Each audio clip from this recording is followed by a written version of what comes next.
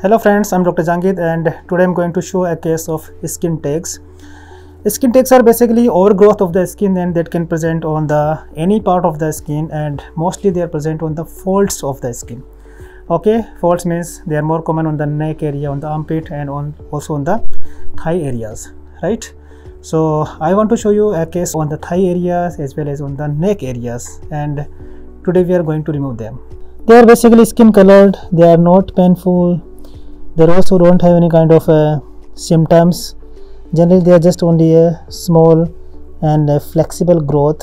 They are like having two part. One is body part there is bigger and one is called uh, roots. And the roots are mostly uh, smalls. And uh, they are soft in the nature.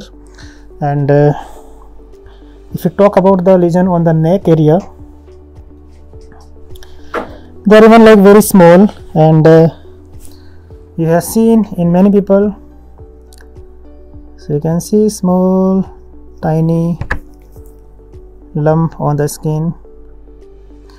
So also this is skin tag and uh, skin tags are not uh, infectious. They are not uh, a kind of a, a, disease because of the bacteria because of the virus.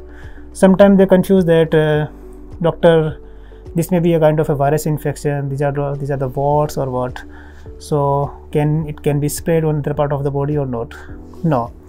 So skin tags are basically simple skin uh, growth and uh, they are not having any kind of infectious activity. And uh, if you develop any skin tag on that areas means there are chances to get the new lesions. Okay but not because of the existing uh, lesions. Okay? And uh, these skin tags are more in the in the once your skin is very lax if you're obese so maintain your skin laxity and uh, don't be too much obese because that can lead to the skin tags and other i can say skin conditions right? So let's i'm demonstrating you how to remove the skin tag by rfa rfa means radio frequency ablation is a small laser and we can just cut these lesions.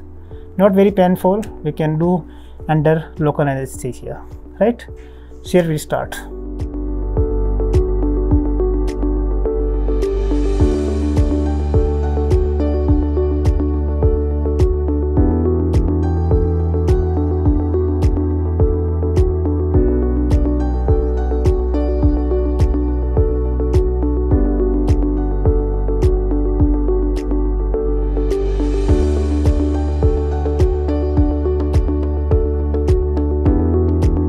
so that we have removed the skin tags. Very simple not very painful and comfortably comfortable procedures. And uh, so if anyway any any uh, skin tag is there you can you can remove in early stage. Why? Because sometimes they may be big and in that condition that you have to be do surgery so surgery a bigger surgery will be there. So better to do in the early stage because in early stage the treatment is very simple and the outcome is also very good. Thank you. Thank you for watching the video